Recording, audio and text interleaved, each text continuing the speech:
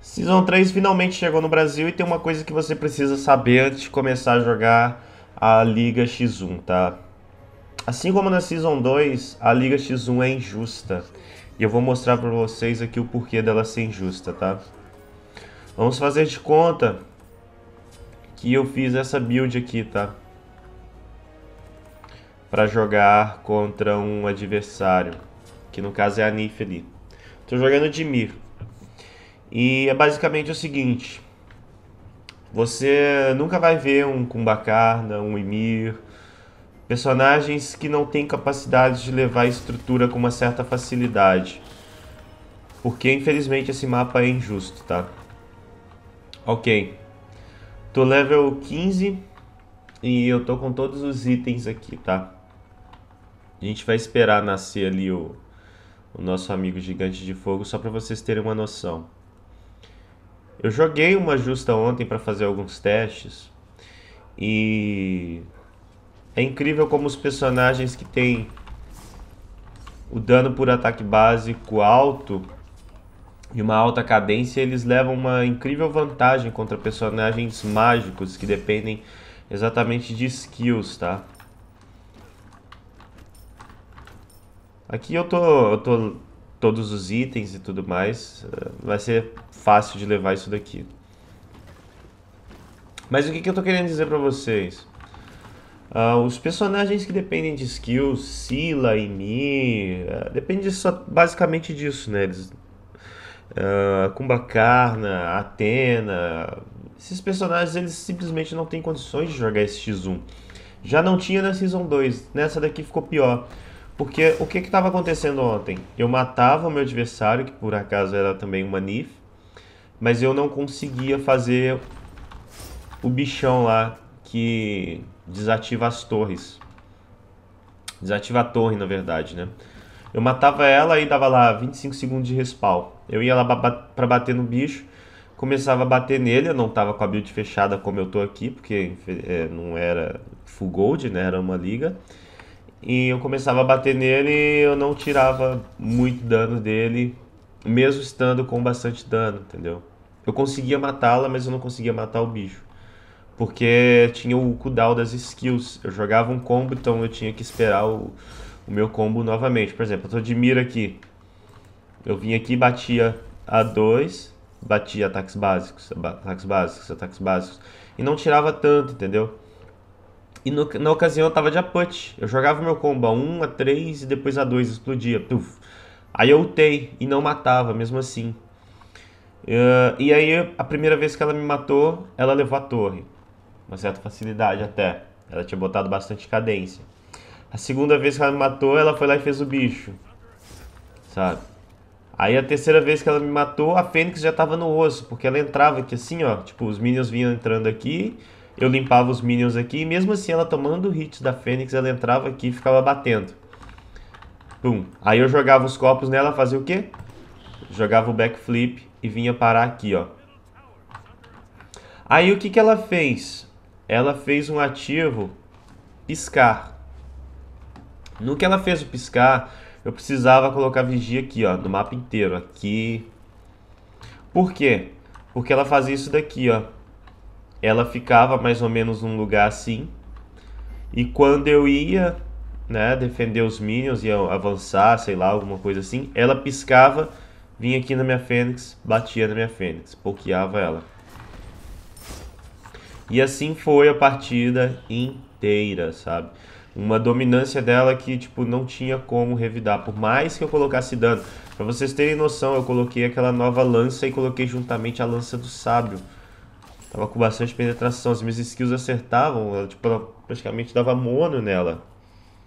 Só que tinha que acertar o combo, ela era uma Nif, tinha o 3. Então não dava tempo do meu combo acertar nela. E não tinha como eu forçar ela a usar o 3. Por quê? Porque se eu ficasse aqui defendendo a minha Fênix, ela vinha rapidamente no bicho, que inclusive nasceu, vou lá mostrar pra vocês. Tô com a build full aqui, tá? Ela vinha rapidamente aqui nesse bicho, ó. E aí ela fazia ele. Então eu tinha que ficar pressionando ela lá. Se eu ficasse pressionando ela, ela ia me pokeando, usando a 3 dela, fugindo. Ia ficar por isso mesmo. Aqui.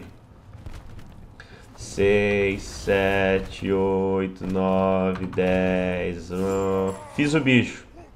Isso daqui em 4 minutos de partida, com full build, uh, level 18 e tudo mais. Obviamente eu não chegaria nesse, nesse ponto de partida com essa build, enfim, com esses itens aqui. Mas só para ilustrar para vocês. Agora a gente vai fazer um outro tipo de ilustração, tá? Então assim, agora eu tô aqui de Nif só para ilustrar para vocês. O cara fez uma build assim, ó. Só para vocês entenderem como é o que ele estava fazendo. Chegou um ponto da partida que ele estava com a build assim. Tá? Eu não lembro exatamente se era isso, se era um Azi que estava aqui. Deixa eu lembrar se era um Azi que estava aqui. Eu não lembro porque a, as ligas não estão aparecendo no histórico. Mas ele tinha uma build parecida com essa daqui. Na verdade não era Azi não, era Zector que estava aqui. Aí depois ele fechou Fúria e Arauto da Morte, tá? Então eu vou só estocar Transcendência nesse período. Ele comprou realmente um piscar. Eu não sei o porquê de uma pessoa comprar um piscar pro Anif, tá? E ele realmente estava dando uns dive muito louco na minha Fênix, passando por trás de tudo, aproveitando a estrutura ali e piscando. Além dele ter o backdoor, o backflip para fugir das minhas coisas, ele tinha um backdoor para poder regaçar tudo, tá ligado? Era exatamente essa build aqui mesmo. Depois ele vinha com Arauto e Fúria. Deixa eu só estocar a Transcendência, né? Porque eu só sei que no começo de partida eu tinha dado tanta pressão nele que ele tava ficando, tipo assim, ele ia, ficava debaixo da torre sem nada de HP, sem nada, praticamente, praticamente nada de HP. Porque o começo de partida ele não tinha build fechada, né? Então, pra ele era difícil. Ele dependia muito dos ataques básicos. Depois que ele tinha certos itens da build dele fechado, aí ele ficava mais confiante e ia pra cima. Então ele fazia o seguinte. Eu voltava à base, nem tinha fileira de mina e vinha aqui e ficava aqui, ó. Ó. Ativava a passiva do, do devorador, ele saía simplesmente. Dá pra se fazer isso com o mago? Dá. Você vai tirar dano da torre? Não. Aí. Vamos dar uma farmadinha aqui estocar nossa transcendência enquanto nasce nosso monstro lá, só para ilustrar para vocês uma coisa.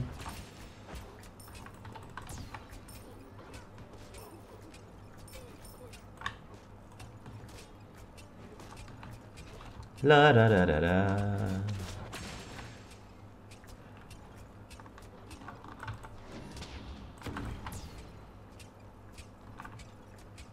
Bastante dano, só Beck ainda tá com defesa, tio. Ó.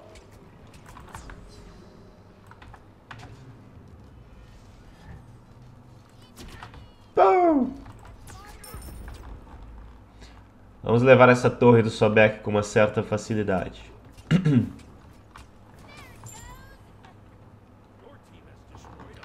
É, muito fácil levar torres com caçadores.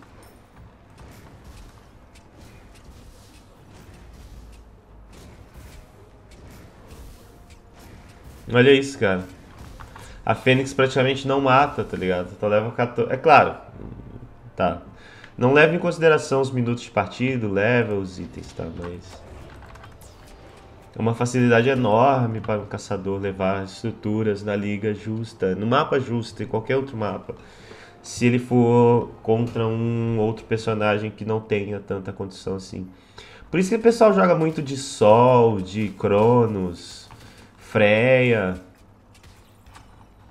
Porque eles têm, eles têm poder no ataque básico muito alto. Agora outros magos, dificilmente você vai ver.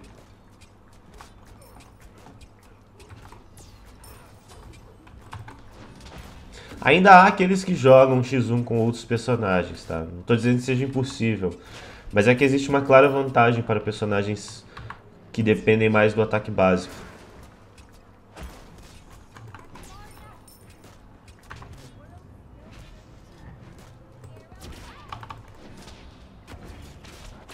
Olha isso, cara.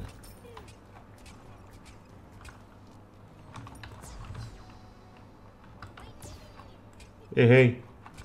Pronto, o monstro nasceu lá. Vamos lá. Acontece, tô level 15, tenho 4 itens na minha build, tô estocado ali a transcendência. Uh, meu devorador de almas ainda não estocou. Olha a facilidade para levar esse bicho. Olha a facilidade.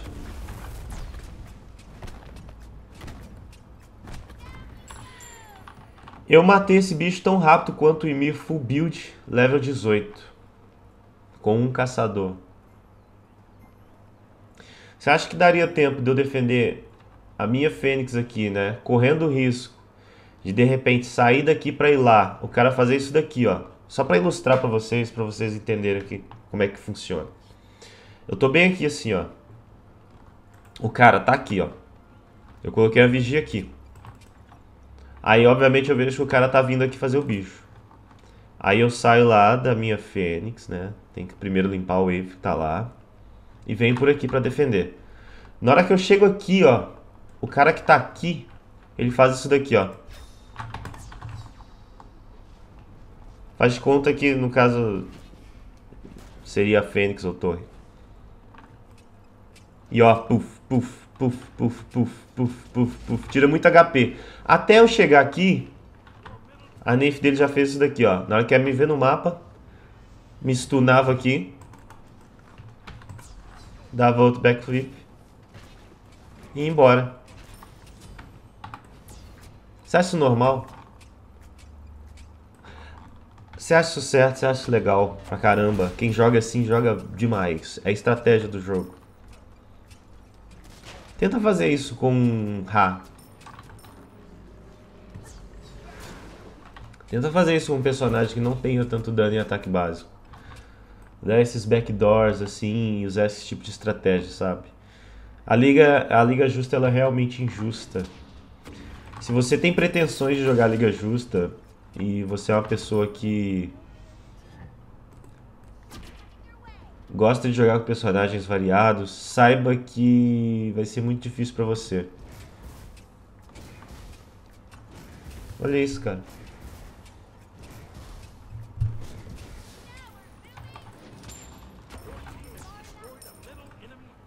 Olha o dano que esse titã toma, ó. Presta bastante atenção.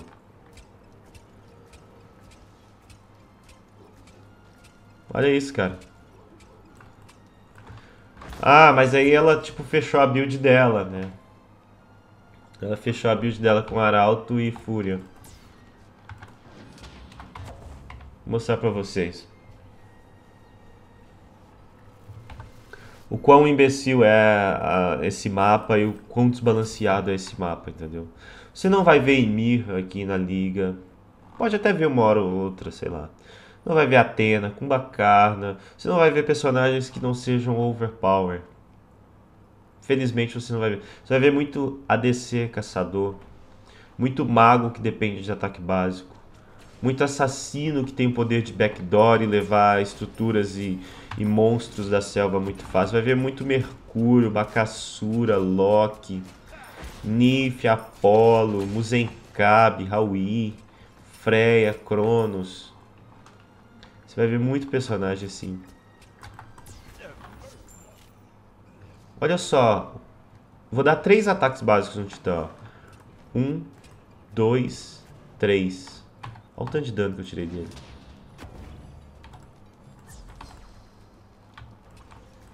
Agora lá no monstro. O Titã vai morrer aqui. Não tem como. Acho que os meninos vão matar. Deixa eu ver se dá tempo de chegar lá no monstro.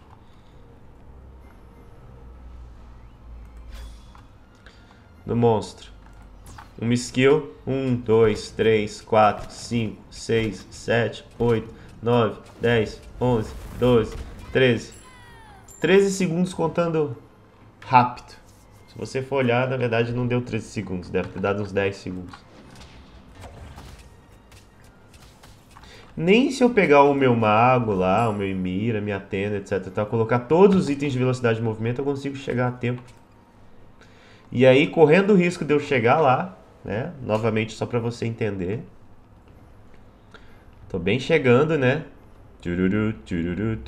Opa, nem foi matar o bicho. Ela tá bem aqui assim.